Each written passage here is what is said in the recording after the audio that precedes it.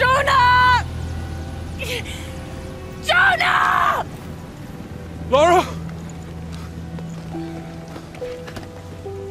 I was so worried. I failed. Was. What do you mean?